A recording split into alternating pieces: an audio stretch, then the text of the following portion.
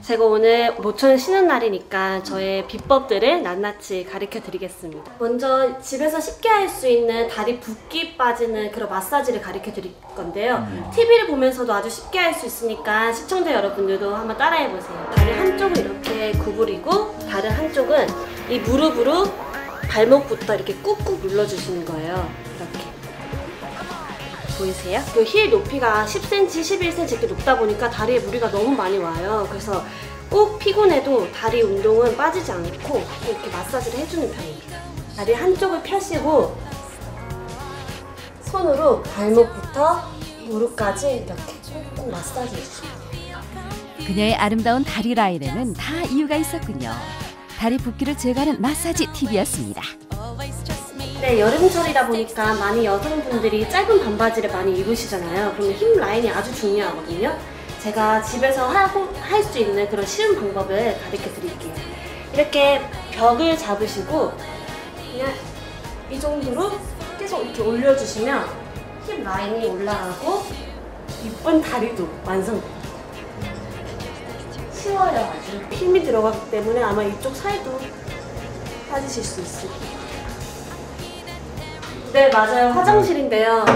진짜 제가 이것만은 지키려고 했지만 저만의 이렇게 특별한 세안법을 가르쳐 드리려고 저의 이제 민낯을 공개하겠습니다. 음, 너무 놀라지 마세요. 이렇게 화장솜을 준비하신 다음에 바로 이렇게 쓱싹쓱싹 지우는 법이 많거든요. 그렇게 하시면 이 눈가 위에 살이 얇- 얇아서 처- 나중에 되면 처진단 말이에요.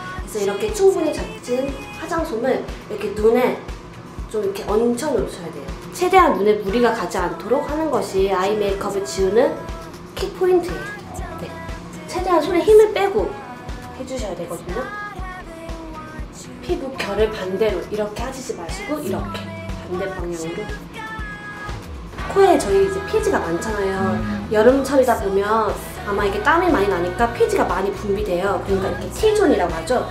이렇게 이렇게 이 부분을 이렇게 세세하게 정말 섬세하게 원을 그리듯이 이렇게 꼼꼼하게 지워주세요. 폼클렌징 짜시고 바로 얼굴에 비비시는 분 있죠. 절대 그러면 피부가 너무 예민해져서 안 좋고요. 손바닥에 적당량을 짜서 이렇게 거품을 충분히 내주셔야 돼요. 이때도 마찬가지로 바깥쪽에서 안으로. 마지막은 찬물로 꼭 헹궈주셔야 되는 거 아시죠? 피부가 탱탱해지려면 꼭 마지막 세안은 찬물로. 네, 세안 끝났습니다. 아니 네. 아까 아까 화장을 막 하셨던 네. 유민 씨 모습에서 네. 지금 카메라 한번 지금 한번 이 모습과 아까 그 모습이 네. 크게 달라 보이지 않는 말을 왜 더듬으시죠? 달라진 게 없다면서요.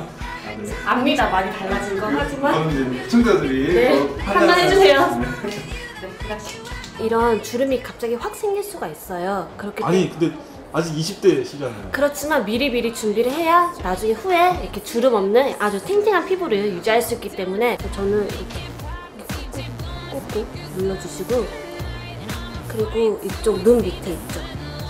이 부분도 이렇게 꾹꾹 눌러주시면 눈 밑에 피로 이렇게 피로도 좀 깔아앉고 혈색도 아마 좋아지실 거예요. 눈 밑. 어, 몸이 안 좋으신 분들은 엄청 아프실 거예요. 귀를 눌러주시면. 이렇게 잘 수시로 이렇게 풀어주시고 어려운 방법은 아니지만 저도 이렇게 인터넷이나 저희 선생님들한테 물어본 방법인데 꾸준히 하다 보니까 좀 효과를 보는 것 같아요 저도 지압을 하게 되면 맨 얼굴에 아마 이렇게 빨갛게 일어날 것이고 좀 아플 거예요. 피부가 땡기고. 그럴 때 집에 오일이나 수분크림 다들 있으시죠? 저 같은 경우는 수분크림을 이렇게 손에 이렇게 발라서 좀 맨들맨들해지잖아요 손이? 그때 이렇게 이렇게 지압을 해주세요.